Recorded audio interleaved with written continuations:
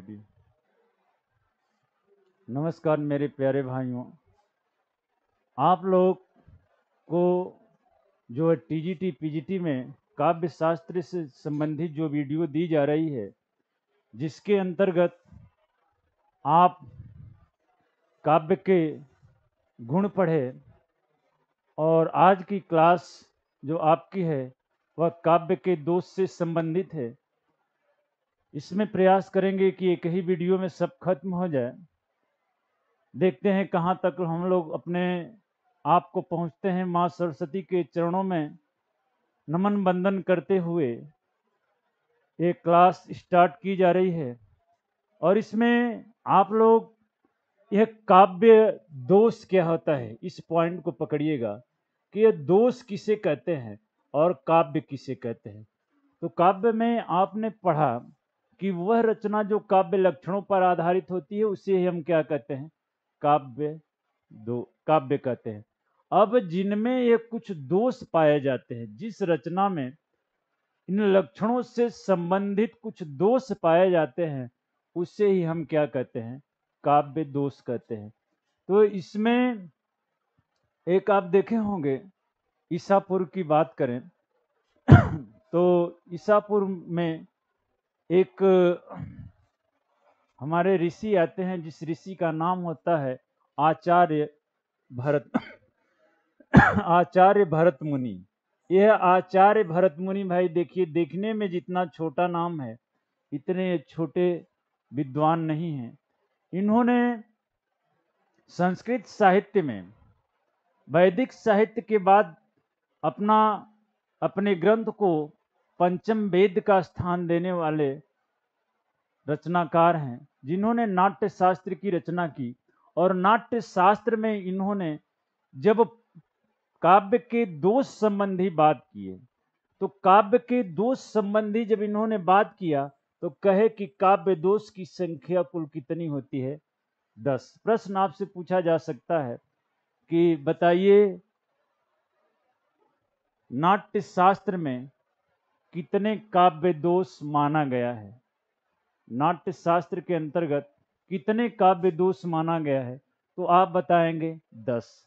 अगर प्रश्न पूछा जाए किसने जो रसों दोषों की संख्या दस माना है तो दस की यदि हम बात कर लें जब द, दस की बात करते हैं तो इसमें आपका जो भरत मुनि आते हैं, इन्हीं के समर्थक एक कवि होते हैं, जिनका नाम होता है दंडी। और दंडी की एक रचना होती है, जिसे कहते हैं काव्य दर्श। काव्य दर्श इनकी रचना होती है। इस काव्य दर्श में भी काव्य के दोष दस ही बताए गए हैं। तो दो कवियों के अनुसार आप देख सकते हैं, पढ़ सकते हैं कि जो काव्य दोषों की संख्या कितनी होती है, दस। किसने किसने कहा है? यदि प्रश्न यह आ जाए तो दंडी और भरत मुनि ने काव्य दोषों की संख्या कितनी माना है? दस। काव्य दोष क्या होता है? कि जो वह रचना जिसमें काव्य लक्षण के कुछ अंग न विराजमान हो, न दिखाई दे रहे हों, कहीं पर त्रुटि हो रही है, ऐसी रचना को काव्य दोष के अंतर्गत का आया जाता है। यदि आचार्य भामा की बात कर लें तो आचार्य भामा ने रस ये अलंकार संप्रदाय के प्रवर्तक होते हैं। और अलंकार संप्रदाय के ये जो प्रवर्तक हैं तो इन्होंने अलंकार ग्रंथ लिखा और इस अलंकार ग्रंथ का नाम इन्होंने जो रखा, काव्य अलंकार रखा। तो काव्य अलंकार में आचार्य भामा ने जो काव्य दोष होते हैं, इनकी संख्या दो मानी है। और इनकी संख्या, ये अभी हम संख्या की बात कर रहे हैं, न कि इन दोषों के नाम को बता रहे हैं।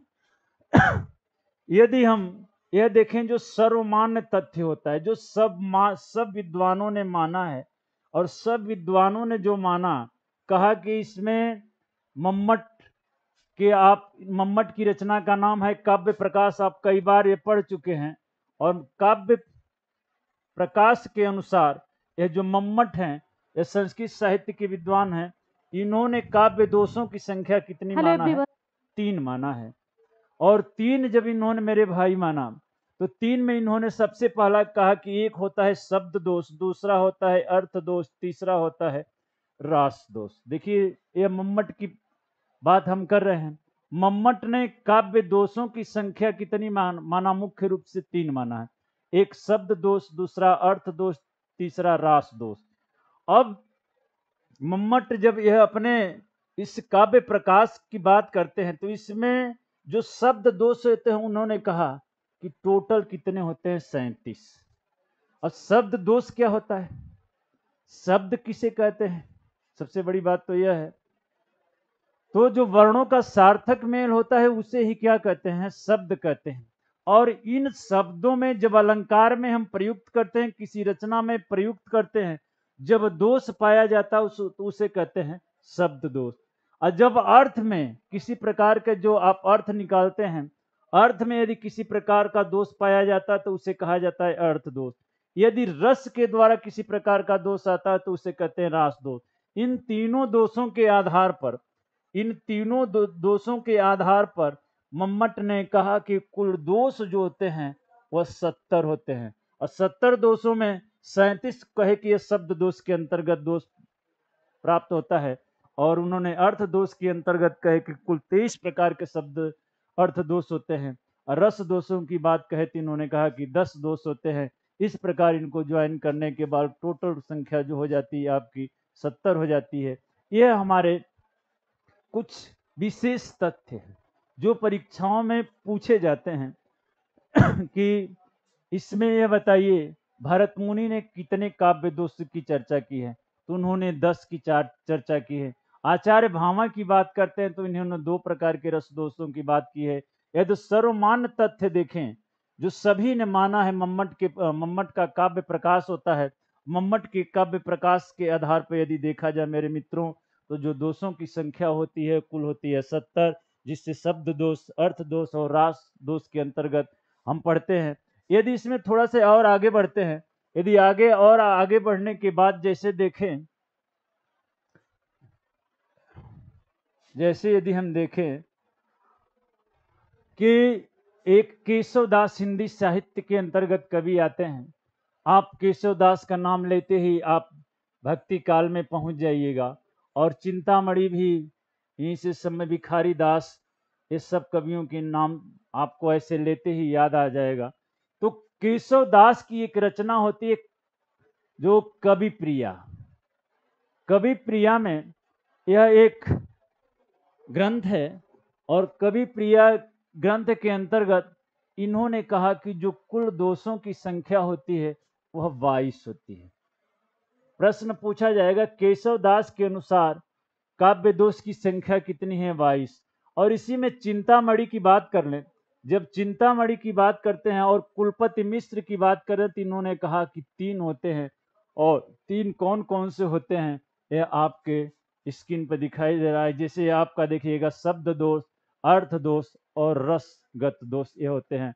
अर्थगत, शब्दगत दोष, अर्थगत दोष और रसगत दोष ये आपके काव्य के जो दोष होते हैं, इन दोषों के आधार पर, इन कमियों के आधार पर जो काव्य रचना होती है, काव्य रचना में चिंतामणि और कुलपति मिश्र ने दोषों की संख्या टोटल बताए बात। और जब इसी में भिखारी दास की बात कर लें तो भिखारी दास भी हिंदी साहित्य के एक महान कवि होते हैं।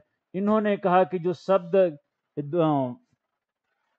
यह हमारे जो पद दोष है और पद्य दोष के अंतर्गत जो काव्य दोष है, जो काव्य में दोष हमें प्राप्त होता है, पहले शब्द के द्वारा प्राप्त होता है, दूसरा वाक्य के द्वारा प्राप्त होता है, तीसरा अर्थ के द्वारा प्राप्त होता है और चौथा रस के द्वारा प्राप्त होता है। इस आधार पर मेरे मित्र, जो हमारे भिखारी दास हैं इन्होंने कहा कि जो शब्द दोषों की संख्या टोटल हो गई चार और इनके आधार पर हम यह दोषों की संख्या निर्धारित करते हैं। यदि सोमनाथ की बात करें तो यह भी हिंदी साहित्य के हैं और सोमनाथ ने कहा कि तीन हैं और तीन के आधार पर इन्होंने कहा। अब हम एक एक पढ़ेंगे जो दोष हैं। जैसे इधर हमने कहा कि यह दोष जो आपके सामने हैं, वह आप जो है मुख्य रूप से देखिए सर्वमान्य जो तथ्य है सर्वमान्य जो तथ्य है, सर्वमान्य तथ्य के अंतर्गत देखेंगे तो जो होते हैं वह तीन होते हैं, शब्द दोष, अर्थ दोष और रास दोष। इन्हीं दोषों के आधार पर जो सभी ने माना है, इन्हीं दोषों के आधार पर हम आज आज जो है, इन पर चर्चा करेंगे कि क्या शब्द दोष होता है। क्योंकि शब्द दोष कह देने पर इतना छोटा नहीं, इसमें सत, सैंतीस पार्ट होते हैं। अर्थ दोष में कुल अब तेईस होते हैं और यह आपके, चूँकि समय के अनुसार इतना सब दोषों को पढ़ाना नहीं, इतना आता भी नहीं है। आप सिर्फ़ दोषों को याद करेंगे कौन कौन से दोष कितने प्रकार का होता है, कितने प्रकार के दोष आपको दिखाई देता है। यदि शब्द दोष की बात कर लें, यदि पेपर में आपको सामान्य तौर पर पूछ दिया जाए कि काव्य के कितने दोष होते हैं तो आपको बताना है, तीन ही दोष बताना है कौन कौन शब्द दोष अर्थ दोष और रास दोष इन्हीं दोषों के आधार पर आप अपने प्रश्नों को दिखा सकते हैं, बोल सकते हैं। अब यदि इसमें हम बात करें, यदि इसमें हम बात करें मेरे मित्र, यदि इसमें हम बात करते हैं, जैसे यदि, यह देखिएगा, पहला पॉइंट है शब्द दोष। पहला पॉइंट है आपके सामने शब्द दोष। अब शब्द दोष हम पढ़ेंगे कि शब्द दोष होता क्या है। किसे कहते हैं शब्द दोष? सबसे पहले तो यह जानना मुझे कि शब्द दोष क्यों नाम इसका रखा गया? जैसे काव्य में हमें दोष मिला। यह दोष शब्द जो है, दोष का विशेषण है शब्द, और शब्द में दोष पाया जा रहा है। तो इसमें इस दोष के अलावा, दोष किस प्रकार का है? शब्द का दोष है। अब शब्द का जब दोष होगा तो वह मुख्य रूप से सोलह प्रकार का होता है। मुख्य रूप से सोलह प्रकार का होता है, और एक एक करके इसमें जो होते हैं, पहला पढ़ेंगे पद दोष, देखिएगा। इसमें यह पद दोष चूँकि पद किसे कहते हैं, सुन लीजिएगा। यह देखिएगा, एक पद होता है और शब्द होता है। समास को थोड़ा सा याद कर लीजिए। समास में जो पद होते हैं, दो प्रकार के होते हैं। एक को कहते हैं पूर्व पद और दूसरे को कहते हैं उत्तर पद। एक को कहते हैं पूर्व पद, दूसरे को कहते हैं उत्तर पद। अब यह पद भी क्या है? एक शब्द निर्माण है। एक शब्द है, चाहे पूर्व पद हो, चाहे उत्तर पद हो, इसे कहते हैं शब्द। और जब इन्हीं शब्दों को किसी वाक्य के साथ प्रयोग कर दिया जाए किसी भी वाक्य के साथ प्रयोग कर दिया जाए उसी को क्या कहते हैं? पद कहते हैं। अब इसी पद को हम पढ़ेंगे कि पद में शब्द में कैसा दोष है, किस प्रकार जो शब्द के अंतर्गत दोष हमें दिखाई दे रहा है, जो पद है, जो वाक्य के साथ हो इसी को प्रयोग कर दिया। जैसे राम है, राम जब अकेले है तो शब्द है, राम विद्यालय में जा पढ़ रहा है तो यहाँ पर राम हो जाएगा जैसे वाक्य के साथ प्रयोग कर दिए। तो वाक्य के साथ प्रयोग करने पर यह वाक्य जो जो शब्द बन जाएगा, वह पद बन जाएगा।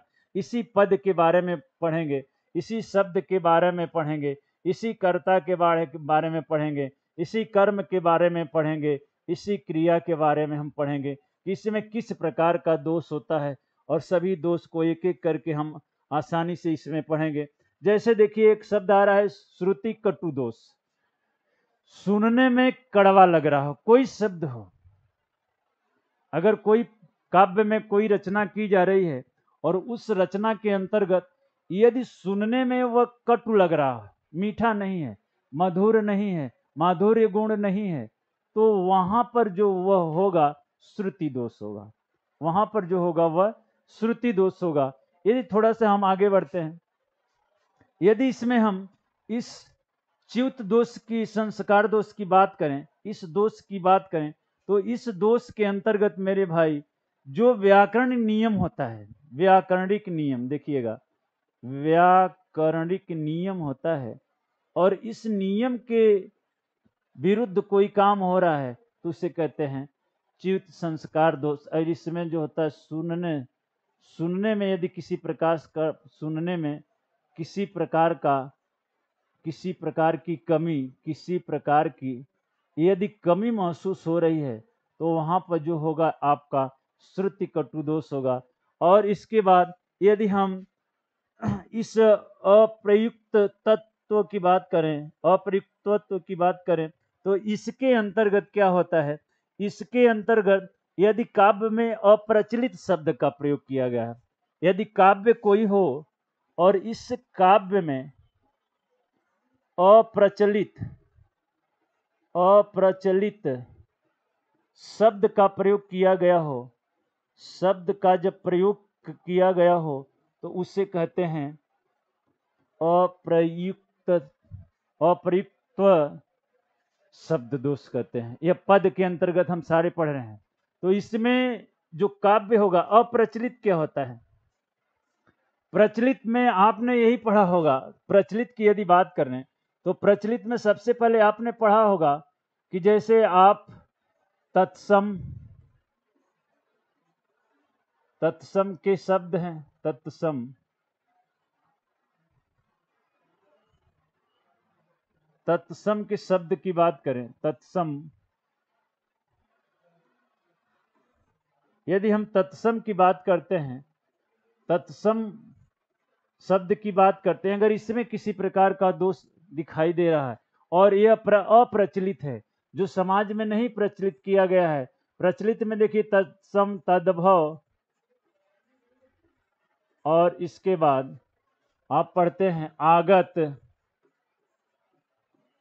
आगत के बाद पढ़ते हैं एक नंबर, दो, तीन। और इसके बाद आप पढ़ते हैं चौथे पर, जैसे आप समासिक शब्द पढ़ते हैं। समासिक शब्द पढ़ते हैं। समासिक शब्दों का प्रयोग किया जाता है और इसमें वह फिर एकार्थी पढ़ते हैं। एकार्थी शब्द पढ़ते हैं। फिर इसके बाद आप पढ़ते हैं अनेकार्थी। अनेकार्थी शब्द और अनेकार्थी शब्द पढ़ते हैं। फिर इसके बाद आता है आपका मुहावरा, लोकोक्तियाँ। मुहावरा, लोकोक्तियाँ। इत्यादि शब्दों का जब हम इसको ये अप्रचलित होते हैं, जो समाज में प्रचलित नहीं थे, जब इसका प्रयोग हम काव्य में करना प्रारंभ कर देते हैं तो उसे कहते हैं काव्य दोष कहते हैं। और इनको यह प्रयोग करेंगे, इनके प्रयोग के फलस्वरूप आपको यह देखना है, क्या समाज इन्हें माना है? संस्कृत और हिंदी क्या इसे मानी है? हमारा समाज यही है संस्कृत भाषा। और हिंदी भाषा, क्या इसे मान्यता दी है? हिंदी भाषा मान्यता दी है। हिंदी भाषा द्वारा मान्यता प्राप्त है। यदि द्वारा मान्यता प्राप्त है, तब तो वो प्रचलित है। और नहीं प्राप्त है तो क्या है? अप्रचलित है। जैसे लोटा ओटा की बात कर लें अगर लोटा ओटा की बात करें तो ओटा शब्द निरर्थक है, इसको मान्यता प्रदान नहीं किया गया है। इसलिए ये अप्रचलित शब्द हो, जा, हो जाता है। यदि थोड़ा सा हम आगे बढ़ यदि इस पर हम देखते हैं इस पर यदि हम देखें तो जैसे एक अलग आता है तीसरे नंबर पर चौथे नंबर पर चौथे नंबर पर एक शब्द आता है और इस शब्द को जो हम कहते हैं इस शब्द को कहते हैं असमर्थ। असमर्थ पद दोष देखिएगा यह है पद दोष पद दोष जिस शब्द के अंतर्गत असमर्थता हो, क्या हो? असमर्थता हो, जिस पद के अंतर्गत असमर्थता हो, वह असमर्थता का मतलब क्या है? एक शब्द के दो अर्थ निकल रहे हैं। एक शब्द के, इसमें एक शब्द के, एक शब्द के दो अर्थ निकले। दो अर्थ निकले तो वहाँ पर हो जाएगा असमर्थ। तो पद दोष के अंतर्गत यह आता है। यदि थोड़ा सा हम आगे और बढ़े, एक जो चौथे नंबर, पाँचवें नंबर होता है पाँचवें नंबर पर निहितार्थ होता है। इसको निहितार्थ की बात कर लें, यह निहितार्थ होता है और निहितार्थ ये पाँचवें नंबर पर होता है और पाँचवें नंबर के द्वारा, पाँचवें नंबर के द्वारा यदि हम देखें तो इसमें अप्रसिद्ध अर्थ हो जाता है। इसमें अप्रसिद्ध अर्थ का प्रयोग कर देते हैं। अप्रसिद्ध अर्थ का जब प्रयोग करने लगे तो इसे भी क्या कहते हैं? काव्य दोष कहते हैं। अप्रसिद्ध क्या हो? अर्थ हो तो अभी क्या होता है? अप्रसिद्ध अर्थ।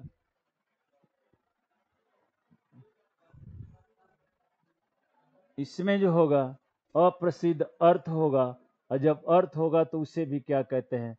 पद दोष कहते हैं। मगर कौन सा? निहितार्थ। जिसके अर्थ न दिखाई दे रहे हो, जिसके अर्थ प्रसिद्ध न हो, वह अप्रसिद्ध हो उसे क्या क्या कहते हैं? निहितार्थ कहते हैं। यदि हम आगे बढ़ें आगे बढ़ें तो एक शब्द आता है, जैसे आपका सिक्स नंबर पर है और सिक्स नंबर पर है निरर्थक, निरर्थकत्व। यह देखिए भाववाचक संज्ञा है और जिस पद के अंतर्गत उसका अर्थ निरर्थक दिखाई दे, इसके अर्थ निरर्थक दिखाई दे, निरर्थक अर्थ व्यक्त हो वहाँ पर कौन सा शब्द दोष हो जाएगा? आपका निरर्थक तो सब पद दोष हो जाएगा। यदि थोड़ा सा इसमें आगे बढ़े, इसमें थोड़ा सा आगे बढ़े।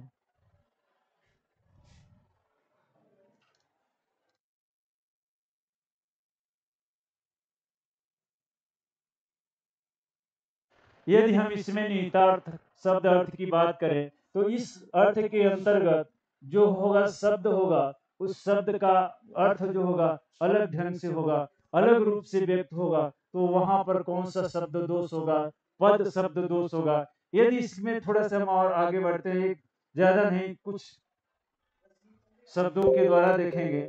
यदि इसमें हम अश्लील तो देखें। अश्लील तो पद दोष देखें। तो इस पद दोष के अंतर्गत मेरे भाई, इस पद दोष के अंतर्गत, यदि हम इसमें जानना चाहें तो जो है लज्जा वाले वर्ण हो, लज्जा वाले वर्ण हो, इन वर्णों की जब वर्णों द्वारा शब्द का निर्माण हो रहा है, जब इन वर्णों के द्वारा शब्द का निर्माण हो रहा है तो उसे कहते हैं असलित्व शब्द दोष। और यह शब्द दोष सब पद के अंतर्गत आए हैं क्योंकि पद का प्रयोग ही किसी शब्द के अंतर्गत प्रयोग कर दिया जाता है। यदि थोड़ा सा इसमें हम जिसे आगे देखते हैं एक तीसरे नंबर पर आता है और तीसरे नंबर का जो है, इसे कहते हैं वाक्य दोष। देखिएगा, यह वाक्य दोष क्या होता है? वाक्य दोष किसे कहते हैं? तो वाक्य आप पढ़े होंगे कि जब शब्दों से मिलकर कोई सेंटेंस बना दिया जाता है। कोई एक भाषा के द्वारा ये कुछ कह दिया जाता है, उसे ही वाक्य कहते हैं। और वाक्य के अंतर्गत इसमें अर्थ दोषों की संख्या, इसमें सॉरी इसमें कुल दोषों की संख्या, कुल वाक्य दोषों की संख्या की बात करें, यदि इसमें हम कुल वाक्य दोषों की बात करें, यदि कुल वाक्य दोषों की बात करें, जो कुल वाक्य दोष हैं, देखिएगा कुल वाक्य दोष कितने होते हैं? इक्कीस होते हैं। और इक्कीस वाक्य दोषों के आधार पर हम इसका अलग अलग ढंग से अलग अलग दोष निकाल सकते हैं। किसमें? काव्य दोष के अंतर्गत। यदि इसमें देखा जाए, यह क्या होता है?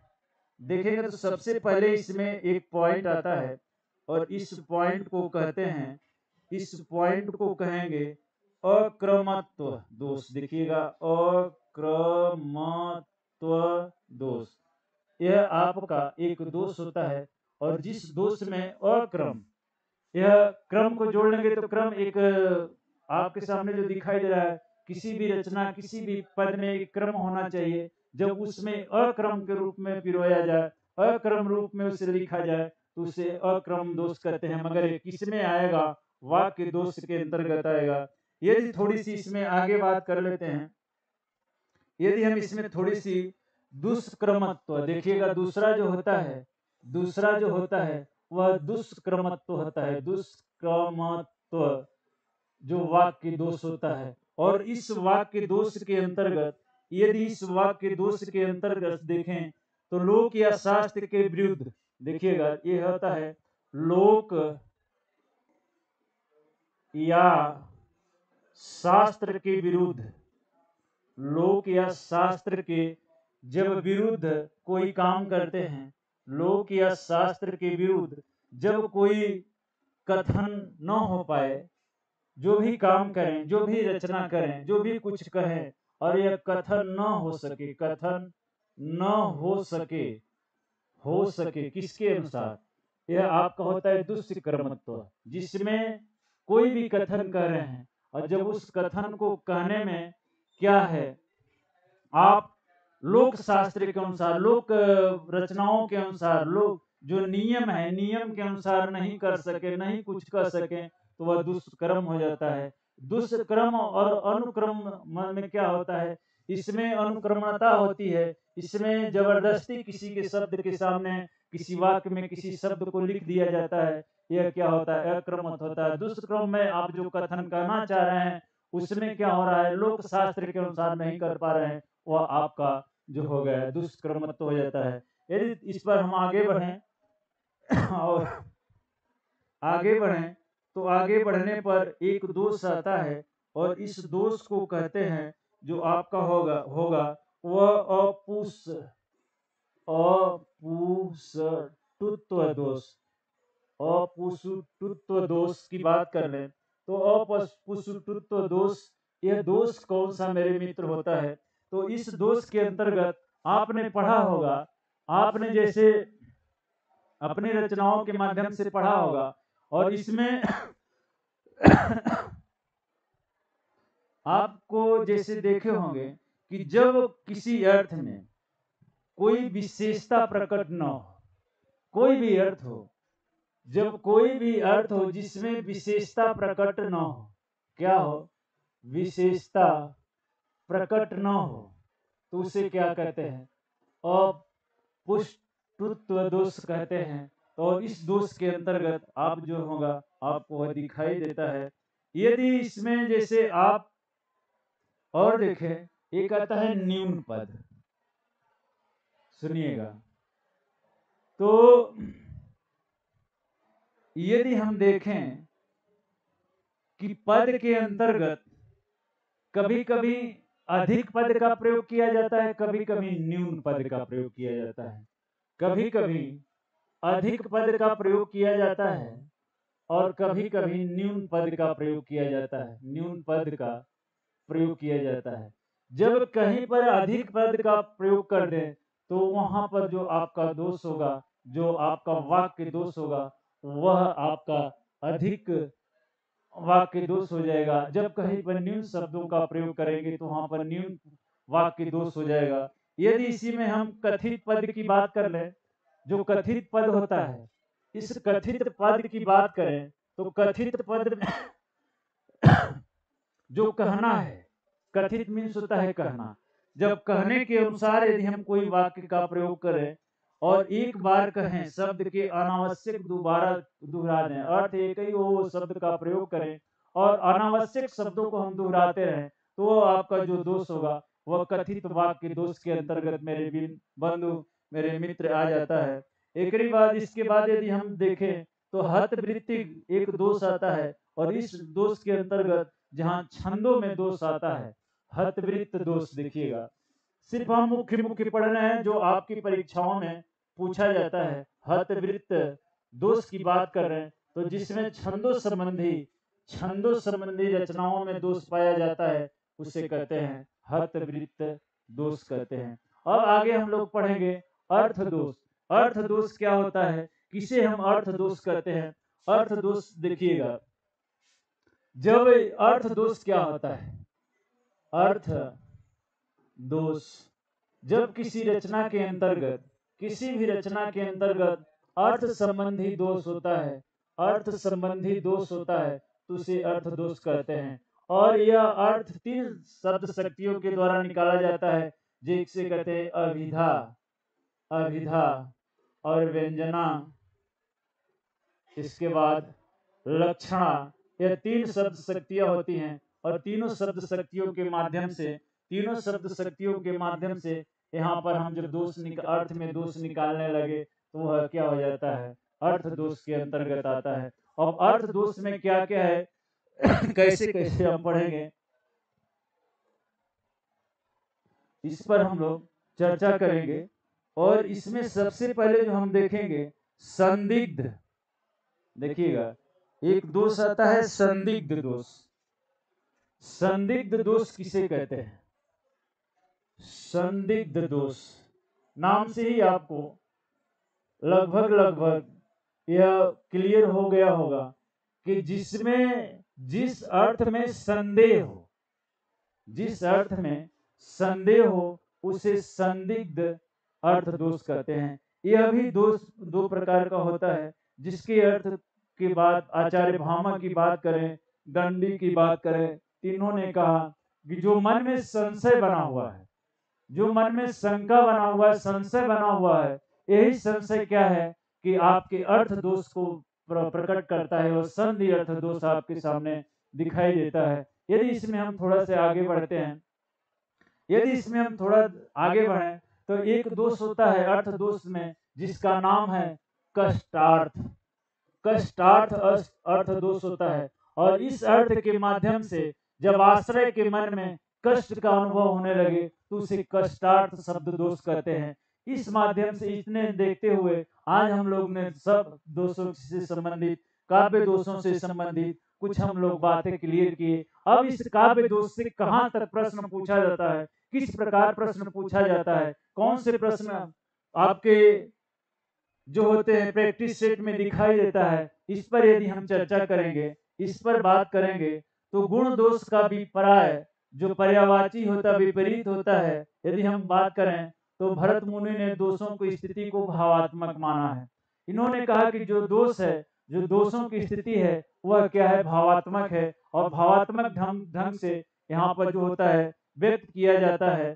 यदि इसमें आचार्य भामा की मेरे मित्र बात करें, आचार्य भामा जो होते हैं यह औचित्य अभाव दोष इन्होंने बताया है कि जो औचित्य होता है, जो मन में जो भावनाएँ औचित्य होती है भामा ने कहा कि औचित्य दोष है देखिएगा भामा ने कहा कि औचित्य जो होता है, अर्थ दोष होता है, और औचित्य अर्थ दोष के माध्यम से अर्थों में दोष निकाला जा सकता है, पदों में काव्यों में दोष निकाला जा सकता है। यदि दंडी की बात करें तो दंडी ने कहा कि यह जो मुख्यार्थ है, जो मुख्य अर्थ है, और मुख्य अर्थ में विघातक जो होता है दंडी की बात करने काव्यदर्श की बात करें तो दंडी ने कहा कि जो वह घातक अर्थ है और घातक अर्थों के द्वारा जब आप वहाँ पर अर्थ निकालते हैं जैसे विघातक विशेष रूप से घातक सिद्ध हो विशेष रूप से घातक सिद्ध विघातक और ये विघातक दोष होगा और यह जो दोष है विशेष रूप से आपको अर्थ के द्वारा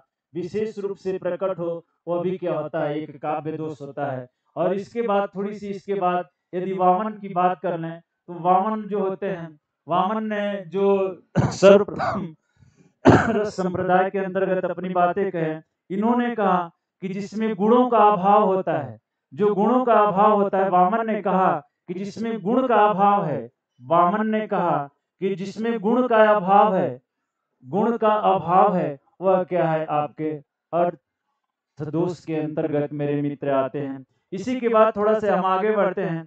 तो यदि रुद्रट की बात कर लें जैसे रुद्रट से पहले एक और आता है, जिसे पुराणों की बात कर लें वैदिक साहित्य की बात कर लें तो इसमें एक अग्नि पुराण होता है। अग्नि पुराण में कहा गया है, जब आप किसी रचना को पढ़ते समय, लिखते समय उद्वेग हो जाए तो अभी एक क्या होता है, दोष होता है। तो अग्नि पुराण के अनुसार उद्वेग जो होता है, अर्थ दोष होता है। यदि पंडित विश्वनाथ की बात कर लें और इन्होंने जो जिन्होंने मम्मट का समर्थन किया, मम्मट की समर्थन के फलस्वरूप इन्होंने यदि दोष की बात कर तो इन्होंने वो कहा कि दोष वह तत्व है जो मुख्यात का अपकर्ष करे या रस को हानि करता है।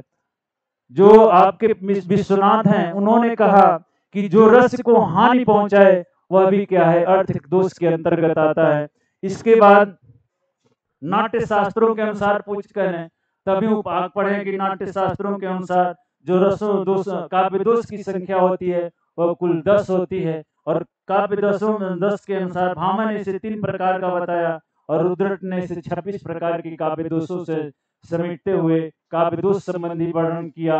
यदि हम अग्नि पुराण की बात कर लें तो अग्नि पुराण में जो काव्य दोष की संख्या है, कुल टोटल तीन बताई गई है और दंडी के काव्य दोषों की संख्या थोड़ी सी बढ़ जाती है। उन्होंने काव्य दर्श में दस बताया बाद में उन्होंने रिसर्च के बाद इनके दोषों की संख्या ग्यारह हो जाती है और वामन के जो दोष तीन होते हैं, तीन दोषों के आधार पर जो उन्होंने पहला दोष बताया, पर पदार्थगत और वाक्यार्थ दोष और इसके बाद पदागत दोषों के आधार पर उन्होंने कुल दोषों की संख्या, रसों के दोषों की संख्या कुल दोषों को तीन भागों में बंटवारा कर देता है और टोटल रसों की संख्या काव्य दोषों की संख्या टोटल हो जाती है सत्तर हो जाती है। सत्तर होने के फलस्वरूप जो आपके सामने दिखाई देता है और आज इसी के साथ हमारे काव्य दोष का ये चैप्टर खत्म हुआ और अगली जो पहले एक इसके पहले आप देख लीजिएगा, एक जो वीडियो थी वह काव्य गुण था जिसमें प्रसाद माधुर्य और ओज गुण की बात कही गई। आज जो हम चार दोस्त पढ़े और चार दोस्तों में जो हमने सबसे पहला पढ़ा चार दोस्तों के अंतर्गत जो हमने पढ़ा इन्हीं चार दोस्तों को हम लोग पढ़ रहे थे और चार दोस्तों में सबसे पहले हम शब्द अर्थगत और रस दोष के अंतर्गत पढ़े। कुछ विद्वानों ने जो चार दोष बताए हैं और चार दोषों के अंतर्गत जब हम इसमें देखे गए देखे तो ये हमारे सामने जो भिखारी दास होते हैं, इन्होंने एक शब्द दोष वाक्य दोष अर्थ दोष और रस दोष के अंतर्गत हम पूरे काव्य में जो भी गुण, अगुण थे, जो काव्य में दोष दिखाई देता है, जिस काव्य के, दोष के अंतर्गत काव्य की रचना पूर्ण नहीं हो पाती है, उन रचनाओं को हम लोग पढ़े और अगली वीडियो जो हम लोग पढ़ेंगे, उस वीडियो के अंतर्गत ये हमारे काव्य शास्त्र के दो दोष हो गए। काव्य प्रयोजन अभी बाकी है फिर रीति बाकी तमाम ऐसी वीडियो आपके सामने दी दी जाएगी। इसी के साथ आप सभी हिंदी प्रेमियों को जय हिंद, जय भारत, जय हिंदी सब